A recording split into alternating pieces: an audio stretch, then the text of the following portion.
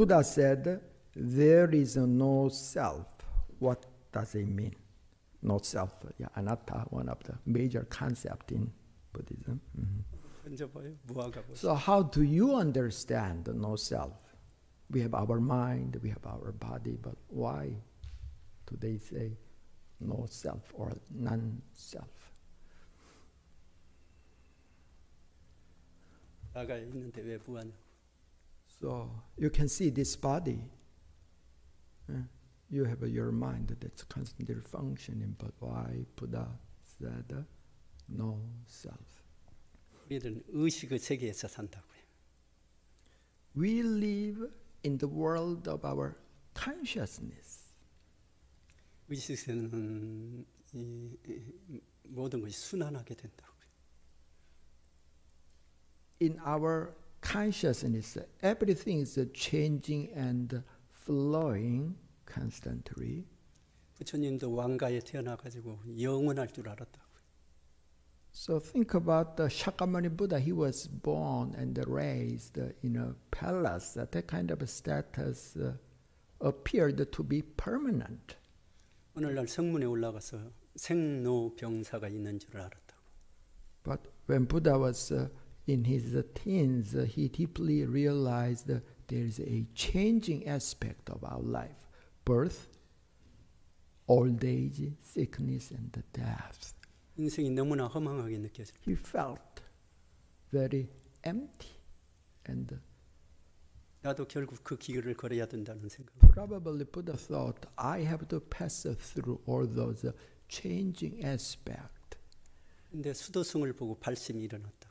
But one day he happened to see one monastic, one seeker for the truth, and 이 a lot of 문제를- aspiration start to arise in his mind. 이 문제를 해결하지 않고는 모든 것이 허망하기만 했다고. Without solving these fundamental, primary questions in our life, uh, nothing can become very meaningful. That's what Buddha thought. 그래서 6년간 깊은 명상에 들어갔다고. So Buddha left the palace and searched for truth, deep in meditation in Himalayas for six years. 근데 의식의 세계만 있는 줄 알았다고. But he thought about uh, our mind is uh, composed of the various kinds of uh, consciousness. That's uh, what he naively thought. 깊은 명상의 세계 들으니까 의식의 세계를 넘어섰다고. But when he was really in deep samadhi, then he realized the more deeper inner core of our consciousness. 의식의 세계를 넘어서 이렇게 들어가니까 깊은 무의식의 세계가 있음을 알았다. There is uh, some kind of a core universal consciousness that beyond the consciousness and the subconsciousness. 그래서 부처님께 한 소식을 깨달으셨다. That's what he realized. He was awakened to the, our true inner core. 딱 깨닫고 보니까 현실의 움직이는 건 전부 다 업의 인과에 의해서 움직여가고 있는 걸 알았다. When he realized that, that universal consciousness or his true self, uh, he also perceived that everything is working and operating on the karmic principle of cause and effect. 근데 그 연, 그것을 다른 말로 하면 연기법으로 표현해 주셨다고. 이- 인연의 법으로서 말씀해 주셨다고. So he expressed the reality that as a Yonggi-bab. Yonggi, Yon means uh, indirect cause, uh, indirect cause plus the direct cause. Yeah. 그런데 그 연기법은 근본을 들어가니까 아무것도 무였다고. 나 존재 자체도 없는 거라고. So everything is uh, constantly changing depending on arising, depending on something else. So nothing is the, there is no s- substance in everything. 나 없는 것을 아무것도 없는 음, 무아의 세계인데 그 질서 전역에 알고 움직여가는 이 법칙이 있음을 알았다. Whether in our true self or in everything, there is no substance, independent fixed substance, but it is not voidness. Based on that core, everything is working in a very orderly cosmic way. 불교의 핵심은 거기에 있다. So this is the essence of the Buddha Dharma. 그렇게 명상을 하고 선을 하고 연부를 하고 모든 것이 결국 무엇이냐면 그 하나를 깨닫기 위해서 들어가는 거라고. We can think about why we meditate, why we chant, why we study scripture. It is eventually to realize that that core, so-called universal consciousness or not self. 의식의 세계에서는 절대 그 세계를 이, 짐작할 수가 없다. in our normal, regular level of consciousness, uh, we cannot fathom, we cannot guess that universal consciousness, our inner core. 그러니까 우리 의식의 세계에서 잠재 의식으로 들어가고 From the level of consciousness to the deeper level of consciousness or subcon- subconsciousness, uh, we have to go into. 잠재 의식의 더 깊은 무의식 세계로 들어가야 된다. And then when we go to subconsciousness, the deeper and the deeper, then we will come closer. 그것은 누가 말로 해서 알 수 있는 것이 아니라 This so-called uh, our universal consciousness or our original face is uh, indescribable. It is uh, beyond our verbal expression. 그것은 깊은 명상을 통해서 체험하는 거라고. Only after when we go in deep meditation, it is something we can taste. We can get the 천만 glimpse 가지 of that. 경전을 다 밝혔어도 그것은 가르쳐 줄 수 없다. Even though you may, we may read uh, hundreds or thousands of scripture, we cannot get close. 다만 안내를 해줄 뿐이라. But they are just a guide. They are just a guidepost that 체험은 자기가 하는 거야. ultimate really. When it comes to experience, it is our own thing. It is something we have to do that for ourselves. 명상의 핵심은 생각은 너머 세계로 들어가는 거라고. So, from one perspective, though, we can say the essence of a meditation is going beyond our thinking mind. 우리는 일상생활에 너무나 많은 것을 보고 듣고 이 감각의 세계에서 산다고. Think about how we live in our daily life. We see, we hear, we talk, etc. We live in the world of sensory experience. That's Wow. where we live. 과학문이 발달 세계일수록 더 이렇게 이 현란하게 현란해지게 Especially in these days when the science, material civilization is highly advancing, our mind is more and more exposed to sensory experience. 우리 의식의 세계가 자꾸 좁아진다.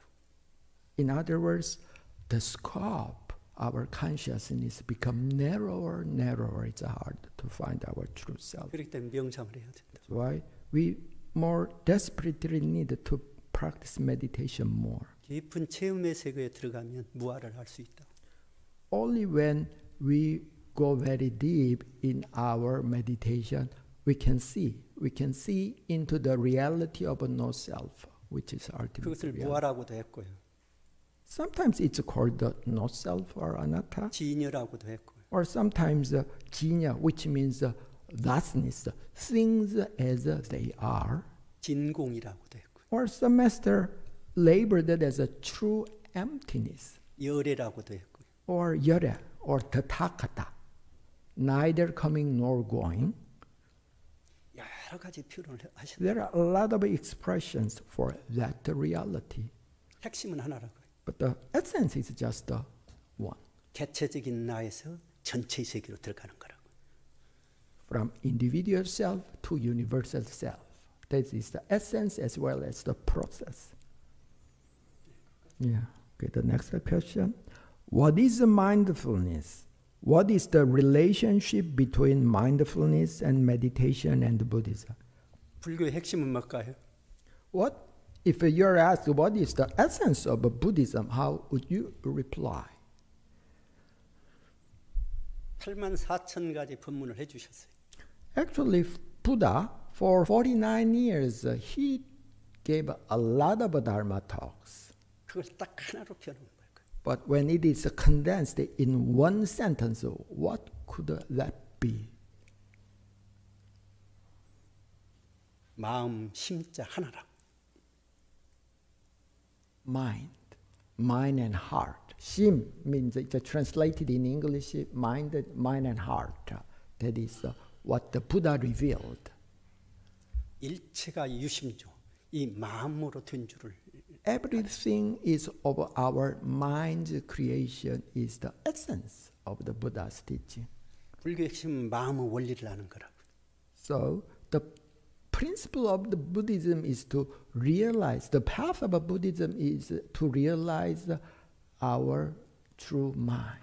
몸이랑은 업으로 뭉쳐진 하나의 집합체라고. Think about this body. This is the aggregate of our karma. Because of our karma, this is the consequence of 몸은 our karmic action. 업의 관계 속에서 움직이가면서 살아간다고. So when we use this body in our life, uh, so we create uh, karma, and uh, karma is created by this uh, body. 그 몸을 움직이는 원리가 어디든 마음 마음에 들어있다고. What moves? What make this body function? That's 그러기 our 때문에 mind. 그렇기 때문에 마음을 챙기지 않고 불교 공부를 할 수가 없다. So without becoming mindful of uh, using our mind, that we cannot practice Buddhism. 불교의 시작은 마음을 챙기는 데부터 시작된다. So the starting of the Buddhist practice is uh, take care of our mind. That area of mindness is the starting. 원불글 창정하신, 창건하신 소태단 대종사께도 수행은 마음을 챙기는 데부터 시작된다고 그랬다. So our founding master Sotasan also mentioned uh, the essence of our spiritual practice lies in take care of our mind, mindfulness. 마음은 아무 그 흔적도 없다고. There is no smell vestige. It is beyond our sensory experience, the essence of our mind. 흔적 없는 가운데 무수한 생각이 일어난다고. Even the the essence is empty. All kind of things, especially all kind of wandering thoughts, arise from that empty nature of our mind. 그 마음을 흐트러뜨리면서 우리가 산다고. 그렇기 때문에 How can we describe our life? We just scatter our life when we use our body and mind.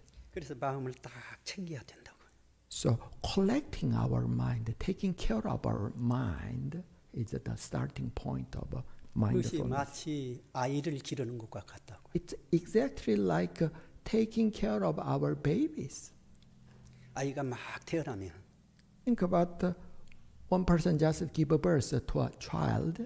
한 눈을 팔지 않고 계속 지켜봐야 된다. So the mother cannot keep the eyes off the baby. 지켜보지 않으면 아이는 위험에 빠뜨릴 수가 있다. Without watchfulness or mindfulness, that baby may be in danger. 끊임없이 이렇게 살펴본다고. Continuous mindfulness or watchfulness is how mother take care of its baby. 아이가 조금 성장하게 되면 When the baby grows a little big, 대체적으로 쭉 영역을 쳐놓고 이렇게 살펴본다고. so the baby can wander around, move around in a certain area in one's room, but we cannot let go of our watchfulness. 그래서 사람이 성장하게 되면 성인이 되면 But eventually, the baby becomes um, an adult. 스스로 살아갈 길을 알게 된다고. the, that person, that baby, know by itself uh, how to live, how to move Without the mother's help. 처음 마음 공부를 하는 사람은 마치 아기 어린아이가 태어날 때 살피듯이 딱 마음을 살펴봐야 돼. If you think you are a beginning practitioner, you need to care, take care of your mind constantly, mindfully. 잠깐만 마음을 놓아버리면 이 마음이 사방팔방으로 막 돌아다닌다고. If you are beginning practice, if you let go of the rein, the grip of your mindfulness, uh, your mind will wander around in all directions. 그래서 어, 유념, 마인드풀니스가 중요하다. That's why mindfulness is very important. And 근데 people- 여기서 중요한 것은 마음을 챙기면 근본 마음의 깊이를 깨닫는 데 초점을 맞춰야 된다. but even though we become mindful in some area, that direction of mindfulness uh, should be practiced together with uh, understanding the nature of a mind. It should be practiced in tandem. 깨달음의 깊이로 들어가지 못하면 without realizing the nature of our mind, 오히려 어, 마음을 챙기는 나를 강화시킬 수 있다. mindfulness uh, sometimes becomes uh, very bothersome or annoying. It distracts your mind sometimes. 그래서 우리 마음을 챙길 때 늘 무아 내가 없는 자리를 비춰봐서 삶을 비춰봐야 된다고. So when you, if your practice becomes very mature, if you practice mindfulness in some area, it should be based on no self, on your true self. 우리 마음은 이 어떤 것을 규격을 지키를 좋아한다고 틀을 지키를 좋아한다고. The tendency of our average mind would like to have some format, some direction, some fixed idea. It is uh, how our average mind works. 그래서 마음을 챙기되 흔적 없는 마음자리의 바탕에서 유념을 할 줄 알아야 된다고. So when we practice mindfulness, uh, it should be based on our true nature or no mind. We should practice mindfulness uh, in a very natural way. 그 핵심을 육조 대사가 응무 소주 이생 기심으로였다. So this 마음을 내서 쓰되 주차가 없는 마음을 내서 쓰라고 그랬다. So, in one sentence, the sixth patriarch, Master Huineng, expressed in this way use your mind without dwelling any thought. Give rise to, to a mind without dwelling in any thoughts. 금강경의 핵심이라고. This is also the essence of a Diamond Sutra. 그렇기 때문에 공부하는 사람은 마음을 챙기지 않고 공부할 수가 없다고. So, without mindfulness, we cannot make our practice mature. 특히 소태산 대종사께서는 마음 챙김, 유념을 굉장히 중요하게, 중요하게 생각하셨다. Particularly in our tradition, our founding master really emphasized the mindfulness. 광문명이 발달되면 우리는 엄청난 위험 속에서 살게 된다고. Our mind can be in danger in this materialistic society as a science technology is constantly advancing. 한순간 마음을 챙기지 않으면 엄청난 재앙이 올 수도 있다. In this rapidly changing society, without paying attention, our life sometimes can be in 그렇기 danger. 때문에 현대를 살아가는 모든 사람에게 있어서는 마음 챙김이 대단히 중요하다. So let's keep that in mind when we live in this contemporary competitive society. Then the mindfulness uh, in some area is really essential. Yeah. I hear that there are different types of breathing in meditation practice. What are those? How do I know which one is right for me? 우리 생명이 어디에 달려있냐고. Where is our life or life force?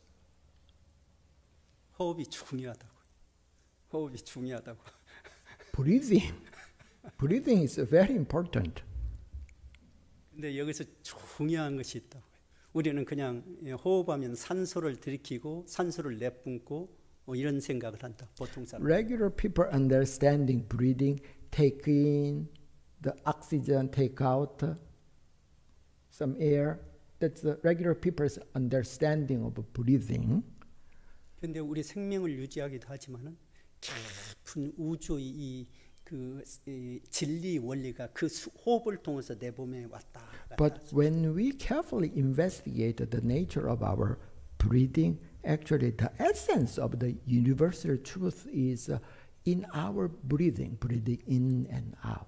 그렇기 때문에 호흡은 모든 것을 하는 사람이 호흡이 대단히 중요하다. 모든 일을 하는 사람이 있어서. So whether practitioner or not, in whatever we do, breathing is very critical 운동하는 사람, to the athletes, 춤추는 사람, to the dancer, 산행할 때, when we hike, 일을 할 때, when we work hard. 이 호흡을 잘 조절하는 것이 중요하다.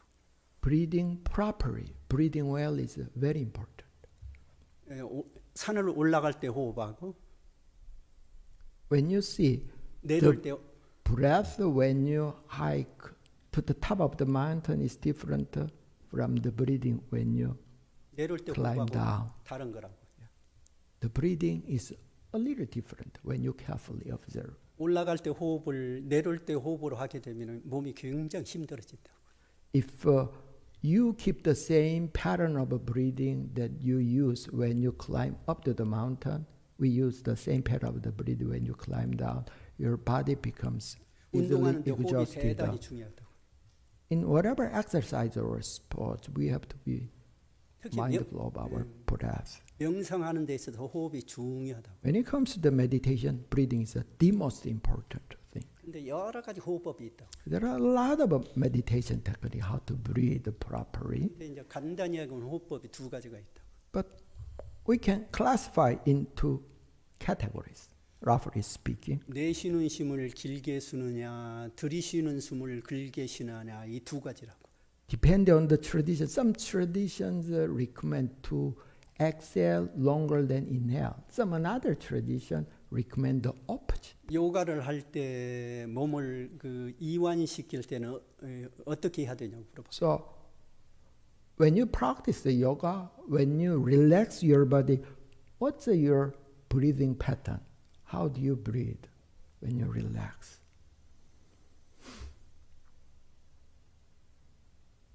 몸을 이완시킬 때는 내쉬는 숨을 길게 내품어야 돼. When we relax our body, we usually ex- exhale very, very long. When we re- relax our body, that is the, time when you exhale. 염불할 때는 어떻게 해야 되냐? How about 천팅할 때. your breathing when you chant? 마찬가지로 챈팅할 때는 들이쉬면 짧게 강하게 내쉬는 숨은 길게 내쉬면서 하는 거라. It is the same. When you practice chanting meditation, your exhalation is uh, longer than inhalation and very thin. Your inhalation is uh, shorter and a little strong. 에, 몸을 이완시킬 때는 호흡을 길게 내품고 So relaxation is uh, related with uh, exhalation. 안을 길을 축적할 때는 들이쉬는 길고 강하게 하고 But when you try to conserve your energy, then you need to inhale longer. 단전의 길을 길을 축적할 때는 그래서 대종사님께서는 들이쉬는 숨은 약간 길고 강하게 하라고 그러셨죠. So particularly in order to accumulate a lot of good energy in your energy center at your body, you need to inhale a little longer than exhalation. 근데 호흡은 사람 따라 다 다르다고요. But this is a general guideline depending on the practitioner. Things can be very 태생적으로 different. 예, 천연적으로 태생적으로 호흡이 긴 사람이 있고 짧은 사람이 있다. Some people are born with a kind of a physical constitution. They their inhalation, exhalation is very long and thin. 그 몸의 상태에 따라 조금 달라질 수 It 있다. depends on their body's condition. 그렇기 때문에 그 몸의 상태 따라서 호흡 조절은 그때 그때 조금씩 달라질 수 있다. So even though it's the same person, depending on our bodily condition, our breathing in and out should be a little flexible. 초보자가 공부할 때는 호흡이 그래서 상당히 중요하다. Especially if you think you're beginning practitioner, you need to be aware of your breathing. 근데 공부해 가면서 호흡에 너무나 얽매이면 안 된다. But as your practice go mature, you need to need to forget about the- your 어? breathing gradually. 호흡은 뭐 때문에 하면 일심을 집중시키기 위해서 호흡을 이, 조절하는 거라. Why they recommend to be aware of our breathing when we practice? It is to stay centered without uh, wandering thoughts. It, this is the expedient means. 마음 하나를 잘 챙기기 위해서 그렇게 하는 거라. It is to collect one mind, to reveal our original mind or one single mind of mindedness. 핵심은 마음을 챙기는 데 있다고. The essence is not breathing. The essence is uh, collecting our mind, taking care of our mind, 다른 말로 표현하면 일심을 모으는 데 있다고. collecting one single mind, one pointed mind is uh, the essence. 깨달음의 세계에 들어가고 Through this uh, direction, we can see into our true self or 진리- realization. 진리의 세계에 들어가는데 In order to realize the ultimate reality, 열쇠가 딱 하나 있다고. there is just one single key. 그것이 뭐냐? What could that essential key? In order to attain enlightenment, what is the, the best path? 일심이라고. One pointed mind. One pointed mind. This 일심 is uh, the direction as well as the nature of our true self. 일심이 진리를 뚫고 돌아가는 One 열심. mind is the key to penetrate into the ultimate reality. 그렇기 때문에 핵심은 거기에 있기 때문에 이 호흡은 챙기되 낮은 호흡까지도 놓아버려. So, in the beginning, you need to become aware of your breathing, inhalation, etc. So, as your practice go more mature, you need to take care of your mind primarily instead of your breathing. 살아있는 모든 사람 자동적으로 호흡이 들어왔다 나갔다 As long as people you are alive, whether you are conscious or not, you breathe. 깊은 명상의 세계에 들어가면 몸이 스스로 알아서 호흡을 조절해서 왔다 갔다 한다. If you go very deep in meditation, the breathing will take care of itself. You do not have to pay attention to your breathing. 몸은 하나의 통과 같이 Our breathing or breath is just a, just 호- the, the 호흡은- step that we need to pass. 호흡은 깊게 들어왔다 나갔다 자연스럽게 하는 거라고. So let the breathing very deep and natural. That's the basic principle. 그러나 초보자에게서는 호흡이 상당히 중요하다고. So, but for the beginning practitioner, so you need to be watchful how your breathing is. 그래서 부처님께서 초보자에게 수식관, 호흡을 호흡관을 이야기하셨다. That's why Shakyamuni Buddha, for the beginning practitioners, uh, you needed to count to one to three according to the inhalation and the exhalation to be more mindful of your breathing.